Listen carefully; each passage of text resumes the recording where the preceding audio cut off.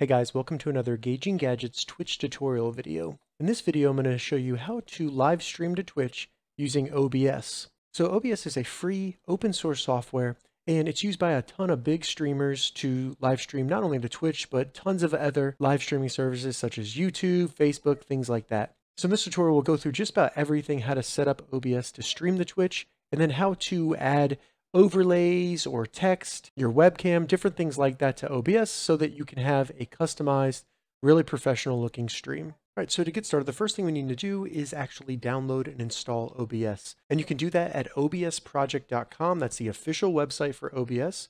That should be the only website you download OBS from. Check the description. I'll have all the links I talk about as well as a detailed write-up down there in case you get lost. So go ahead, select the operating system you're running. As you can see, it runs on Windows, Mac, and Linux. I'll be using Windows. All right, once you get OBS Studio downloaded, go ahead and open it up and go through the installation process. Once it's completed, select Finish to open up OBS Studio for the first time. So the first time you open up OBS Studio, it'll bring up the auto configuration wizard. If for some reason you close this accidentally, you can always bring it up again by going to tools and then going to auto configuration wizard right here. The wizard is a great way to easily set up OBS so that it'll be able to stream to your Twitch account. So go ahead and select optimize for streaming and then select next. This is where you can set up the resolution and the frame rate. The resolution here will be for your canvas, so this is going to be for whatever you are streaming so go ahead and select next here. And then we just need to select our service. So right here, we're doing Twitch and you have two options. You can connect your Twitch account to OBS or you can use your stream key. If you don't want to have OBS connected to your Twitch account, you can go into Twitch and get your stream key and then plug it in and you'll be able to stream with OBS. Check the description if you want to follow that because I do have a tutorial covering how to find your stream key on Twitch. We're going to do connect account. So select connect account, enter your credentials and select login. Once you get logged in, you'll need to authorize OBS. And as you can see here, this is all the access it has, not too much really. Once you're done, select authorize. And now we've connected OBS to Twitch. Go ahead and select next at the bottom. So now it's going to do a quick test of your hardware and the internet that you have, and it's going to set up OBS so that you can stream at the highest quality to Twitch possible. This might take a couple minutes. Once it's done, it'll bring up the settings that it recommends, and you can change these if you want, but I recommend choosing apply settings down here. All right, so now we have set up OBS so that we can stream to Twitch directly from OBS. If you have these windows open right here with your stream information and chat, you can move these around. You can add them to your canvas so you can see them while you're streaming if you want to, like this. I can see the chat right here. I can put my streaming info right here. But what I'm going to do is just close these so they don't get in the way. If you ever want to open them again, they're under View and under Docks right here. Chat and stream info. All right, so now that we have OBS connected, let's go over OBS right here so you have an understanding of what everything is right here.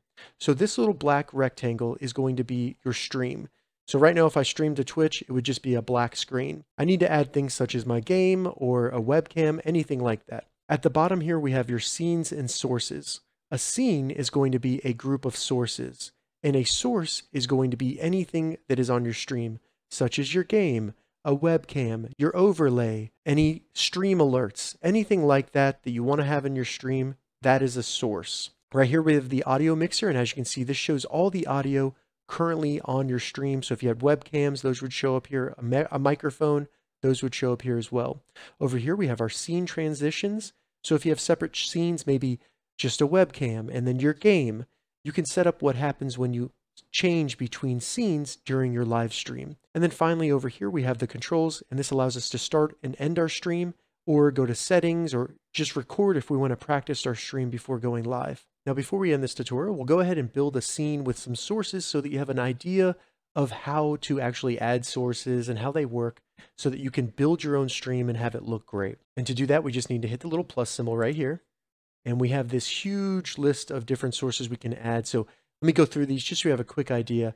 Audio input, that's going to be any microphone.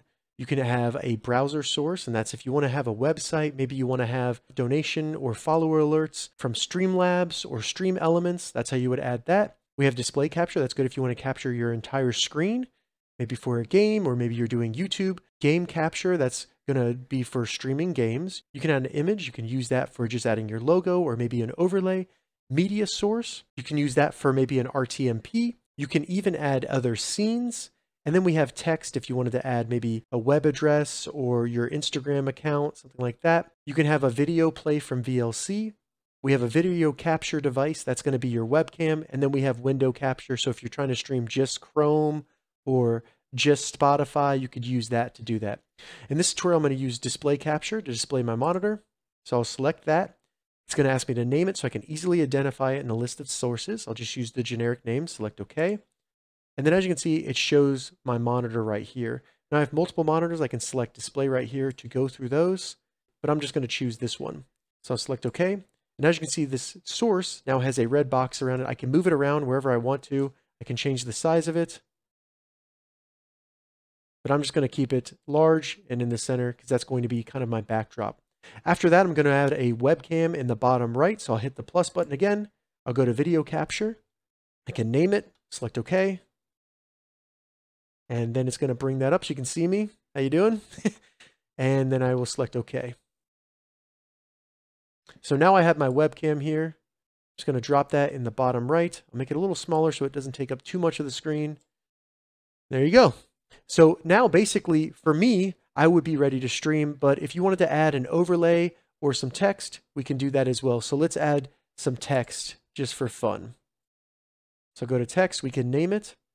And now to add our text, we can first select our font, do some Comic Sans, select OK, and then we can type that here, Gauging Gadgets.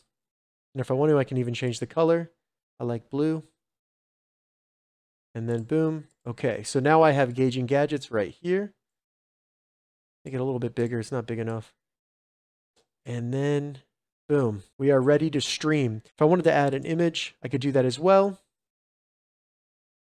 Browse my computer for the image, find and select the image, open it up, and then select OK. So now I have my image, which would also work if I was doing an overlay. I can move that wherever I want.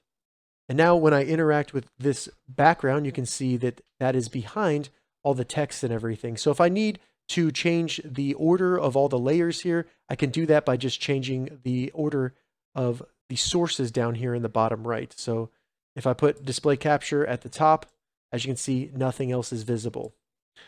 All right, so now we're ready to go live. Once you have your stream set up, all you need to do to start your stream is select start stream right here. Showing connecting. And then when you see this green right here, you are live streaming to Twitch right now. So now if I go to Twitch, and you can see that I am now live streaming to Twitch using OBS. Once I'm completed and I want to stop my stream, all I need to do is go back to OBS under controls and select stop streaming. So now it's ended. And as you can see, it says I'm offline and I'm no longer live streaming. All right, so that's how you live stream to Twitch using OBS Studio. If you have any questions about this, leave a comment below. I'll get back to you as soon as I can. If you'd like to see more OBS or Twitch tutorial videos, check the links in the description. If this video helped you, give it a thumbs up, and please consider subscribing to my channel, Gauging Gadgets, more gadget reviews and tech tutorials. Thank you so much for watching.